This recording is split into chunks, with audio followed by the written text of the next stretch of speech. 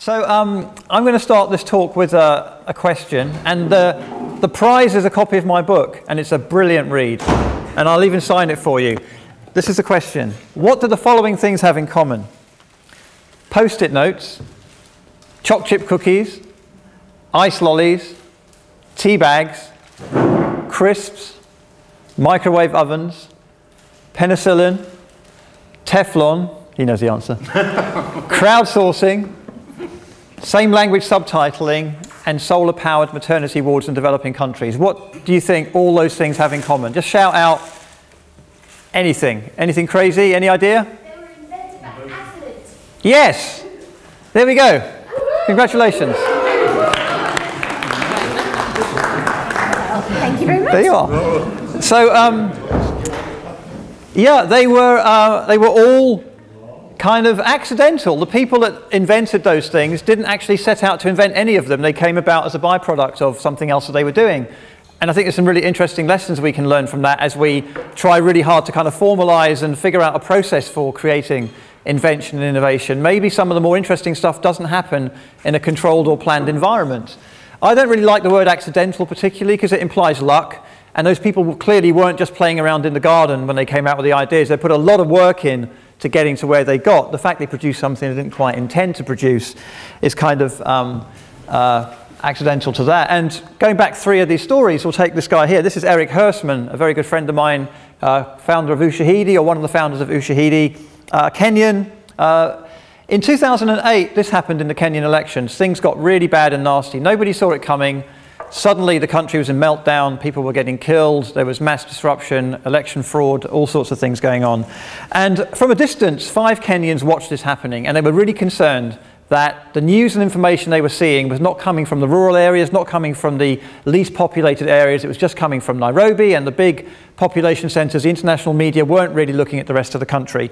And that concerned them. So, in three days, they built a map. And they called it Ushahidi, which is witness in Swahili.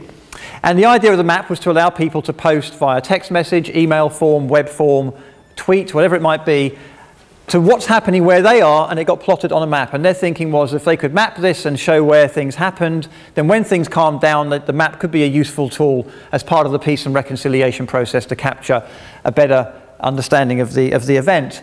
The interesting thing with Ushahidi, no money, no plan, nothing really, just five people reacting to a situation.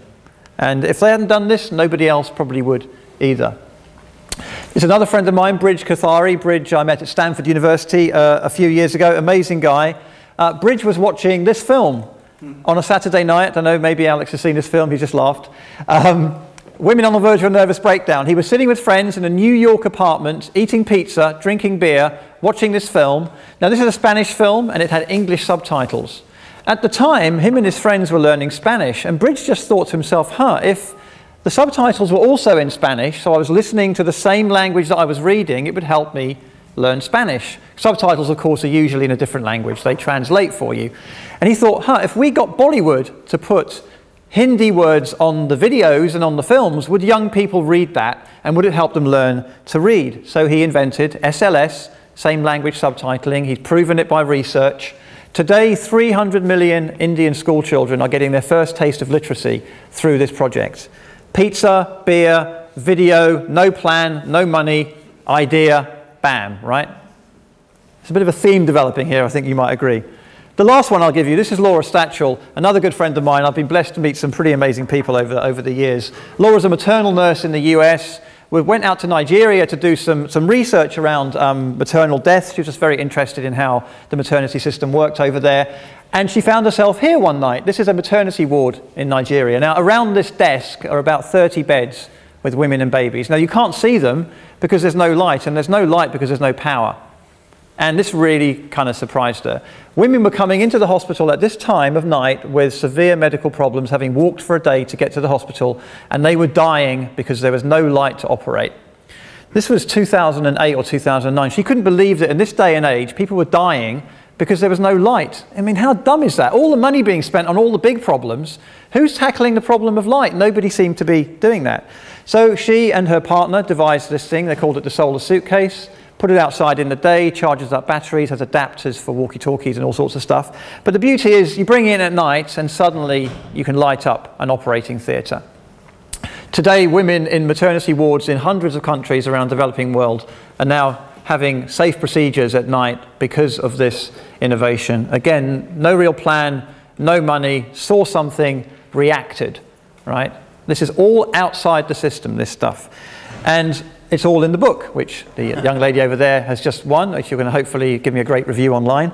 Uh, but what I find interesting, there's 10 stories in the book all like that. And they fascinate me because it, it breaks the myth of control. It breaks the myth of needing money. It breaks the myth of log frames and five-year plans and all the stuff that we try and build around innovation. And I think this is important because aid has its problems, right? The official system has its problems. Uh, quite often, a lot of the money is spent in the country of the donor, hiring people, buying equipment, flying people around the world. You know, it's very self-serving. I hate to say it, but it is, on the whole, quite self-serving uh, quite often the money doesn't get to where it needs to even get. You know, it, it almost is all gone by the time it gets down to those rural farmers, those rural healthcare people. And small amounts of money can make a huge difference. And I've worked a lot on the ground in developing countries and worked at a primate sanctuary, which cost about $200 a month to run. Staff salaries, food, education programs, everything, $200 a month. That's probably spent in sandwiches in most meetings you get at international NGOs. It's, just, it's nothing, right? But for them, it was a huge amount. Uh, we had this actually little discussion about this at our, our table earlier. The, the system is so often stacked up against the people we're trying to help that the best way to help them, in fact, is to pull down those barriers. African farmers fight so hard against trade barriers that whatever we do with innovation will probably only nibble at the problem. If we could bring those barriers down and introduce them into the world market, that, that's what they really want. They don't want aid, they don't want help, they, want, they don't want any of those things. They just want to be given a chance. And quite often, aid's just fighting against us. We have two systems in place, and they're both fighting each other.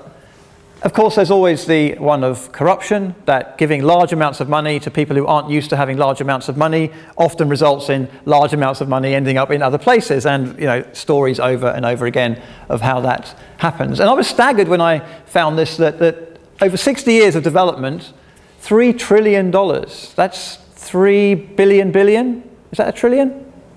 It's a lot of zeros and it's a lot of money, right? Now, do we think that the progress we've seen to date is actually gives us value from 3 trillion? Have we actually solved $3 trillion worth of problems? And should there be any problems left, actually, if we'd spent that well? It's a big number, and it kind of concerns me that we're perpetuating a system which perhaps is not working as well as it should, but because of all those reasons I've just gone through, it sort of still tends to persist. And these debates go on all the time. Don't know if you know these two people here, Bill Easterly, Jeffrey Sachs. Best of friends probably in the real world, but online they're always arguing and bickering.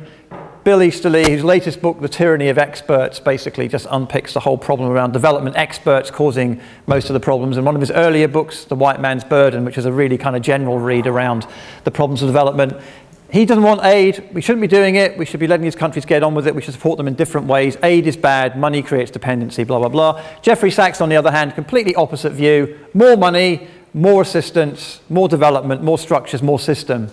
Uh, and it's kind of an interesting debate to watch, and there will never be a winner. And sometimes these debates actually distract us from the real issues. It just becomes a bit of a sideshow. And they both published books this year at the same time, which had to be planned. I can't believe that's a, a, coincidence. And then you have this kind of third way. You have people like Paul Polak, who's a friend of mine, who's thinking that the way we're going to solve the big problems on the planet is through business. We don't need to be giving stuff away. Don't give bed nets, don't give water containers, don't give your stuff, sell it. These people are customers. If you build something that they will pay for, then you know you're building something that they want because they have to pay for it to get it. If you give it to them, you never ever know whether they really ever wanted it or not. Yet the aid sector just continually talks about building stuff and giving stuff for free. And, it, and again, that might not particularly work too well. But when you talk about making profit from the poor, Everyone goes up in arms. You can't do that. These people are living in extreme poverty. You shouldn't be selling this stuff. How dare you sell that for 50 cents? You know they can't afford it. Well, they find ways. Many of these people have mobile phones. They figured out a way of owning them because they see value in it. So we need to think perhaps more about applying business principles to solving some of these social and environmental problems. And I know from my own experience through Frontline SMS that if you do actually give people the tools and you give them the trust and you give them the ability to figure out their own way of solving their own problem, then people can do pretty amazing things. The software now uh, it's used in about 190 countries, been downloaded probably about 300,000 times now. It's a very simple text messaging tool that you put onto a, a low-cost laptop, you attach a phone or a modem to it, and it allows you to do kind of Outlook for SMS. Blast loads of messages out, get loads of messages back, and do stuff with those replies.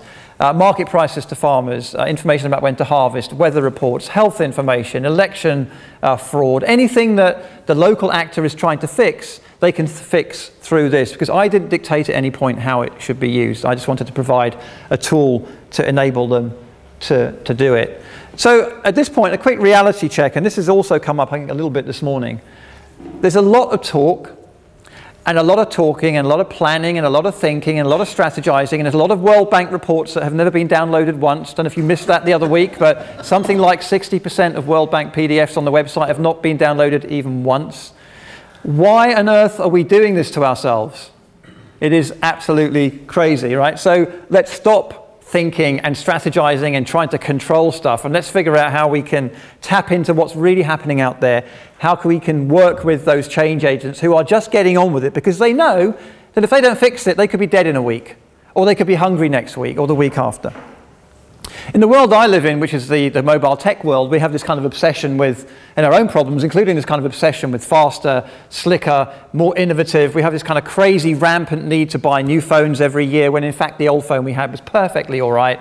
No need to do that at all. It's just this uh, you know, consumerism, and I guess that taps into, again, the conversations this morning around how we think about the, the impact of all this innovation that we're seeing.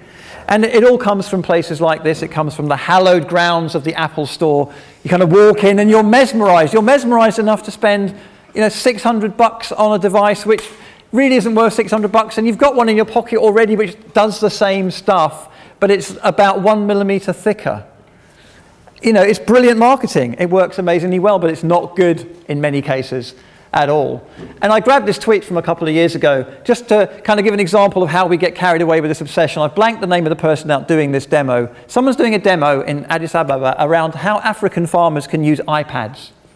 Now, the beauty of this is that I don't think there are probably maybe more than five or six African farmers with iPads. How on earth is an African farmer going to get an iPad, and how on earth is he going to connect to anything anyway, and how's he going to charge it? This is an example of a project being discussed because it can be discussed. The iPads come out, someone's just thought, wow, we can do really amazing stuff with this without any idea or thoughts about the local context. And innovation for innovation's sake is kind of an interesting habit. Here's my best example. This is an iPad powered coffee machine which sits in an office that I went to about a month ago. Why are we building coffee machines that need iPads to work? What is wrong with the old one where you press the buttons, right?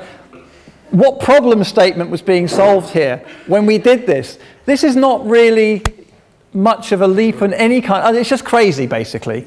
But again, it was done because it can be done. And there's a big tendency in this space to do stuff just because we can do it. And we really don't think about how useful it's going to be to the end user.